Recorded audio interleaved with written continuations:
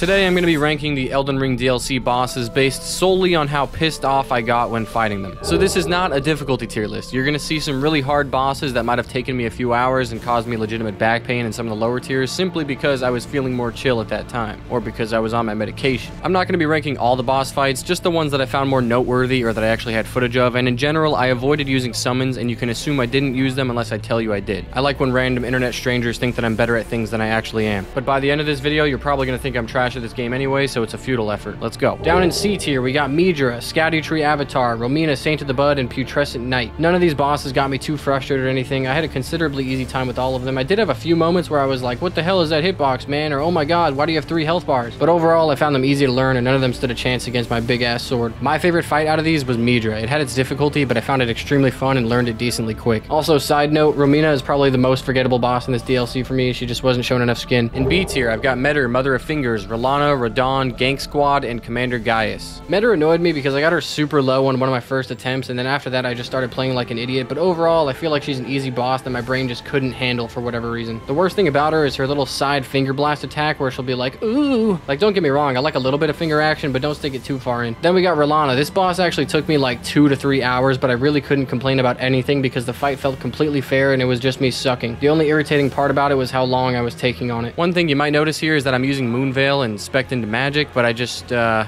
wasn't using any magic. I was handicapping myself for absolutely no reason without realizing it when I should have done a respec, equipped another weapon in my offhand, or just used the magic. And this is a recurring issue for some of the other bosses. I think I would have had an easier time with them if I just didn't have a peanut brain. Eventually, I did end up swapping to the Ancient Meteoric Ore Greatsword, and let me tell you, once you go the way of the bonk, you never look back. Radahn. I probably took another two to three hours on Radahn. It could be closer to four, but when I first got to his phase two, I was fully prepared to spend the next three days learning and fighting him. And there was a small part of me that was unsure if I would ever beat him. It didn't take me too long to completely learn his phase one and basically get it flawless, unless he does this bullshit quick double attack thing, which I really think is one of the worst parts about him, because sometimes he'll punish you with it and sometimes he won't. I just could not dodge the second attack on it. I ate it every single time. On one of my attempts, I got him down to literally 1 HP, and after that, I was like, oh yeah, I can just use all of my rune arcs now because this is the final boss. And the very first time I used the rune arc, I killed him with 1 HP and no more flask charges. But shit, give me him again and I'll do it first try. His second phase is probably the most intimidating second phase that any boss could ever have, and it took me a while to learn it, but god damn is it fun, and I didn't get that mad because of how badass it was and because it was the final boss, and I knew that it had to be ridiculously hard. Or should I say redonkulously hard?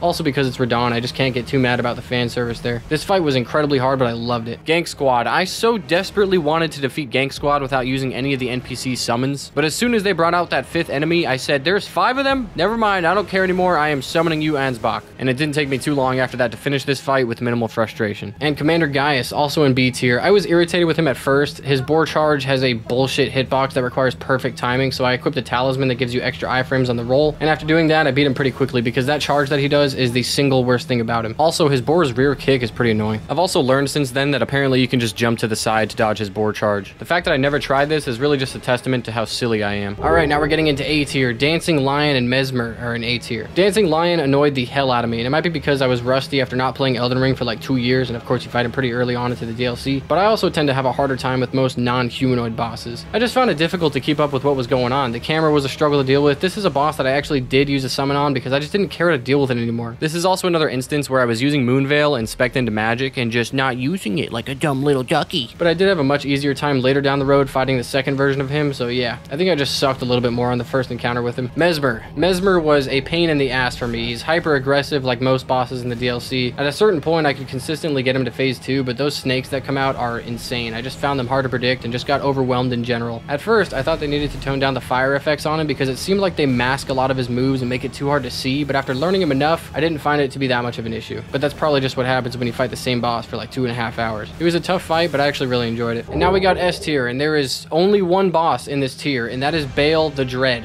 fuck this boss. This boss pissed me off like no other. I was genuinely raging at him. I would rather fight any other boss on this list. I would rather spend three hours reading the fucking Bible than fighting this guy for three hours. And honestly, thinking about it more, I might have spent closer to four to five hours on this guy. They really need to add a built-in death counter for bosses. And the only reason reason I didn't get more angry is because of how fucking amazing his fight looks. Seriously, visually, it is one of the coolest boss fights I've ever seen. And also visually, he's one of the coolest dragons I've ever seen. There's just so much shit going on in this boss fight. You're fighting the camera a lot of the time, and I think I was just extra irritated because we just fought a dragon boss before this guy, and then there were those jagged peak dragons and the ghost dragons, and I just, I'm, I'm sick of dragons. I hate fighting dragons. I've never liked fighting them in any FromSoft game. They're just not fun to me. I'm also just not patient enough for them, so I tend to struggle with them. But this is easily the coolest dragon fight there is. His fight is a cinematic experience overall. It was extremely badass, but also extremely frustrating. However, I struggled on this guy, and I had to summon for him. I spent like 90% of my attempts without using the Mimic Tear and just summoning Igon because I thought I had to to progress his quest line, which I'm still not even sure if you have to do that. But when you do summon Igon, they put it inside the arena, and people drop messages on the summon, and it was very frustrating. Fuck you guys, but at the same time, I love you guys for being the menace that you are. Also, also, Bayle does that bullshit fire attack while you're trying to summon, and that really just multiplied how pissed off I got fighting him. I call this fire attack bullshit because of this instance right here. The fire is going in a straight line as it should. I've got some decent distance from it. Then last second, boom, it forks out and hits me. Like, what did I do wrong? Was I supposed to just keep running instead of dodging? I don't know. It's probably not bullshit, and I just suck as per usual. But again, I was using my stupid Dex intelligence build without actually using magic here, basically entirely relying on transient moonlight to do anything. And I think if I get another chance at Bayle with a different build and without summoning, I'd probably have a much easier time with him. But still, this boss made me the angriest